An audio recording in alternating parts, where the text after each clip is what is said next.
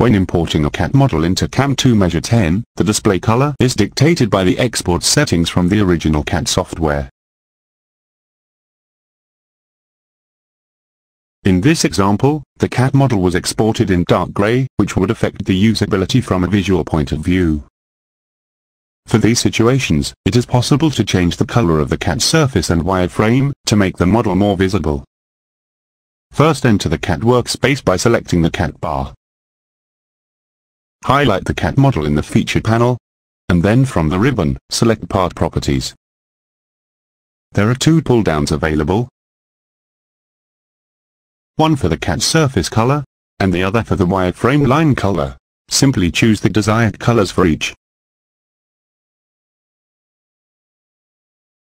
And then select OK. The model is then displayed to the user selection. The color preferences are also stored when the FCD file is saved, and will be applied every time the file is opened. That concludes this video, thanks for watching.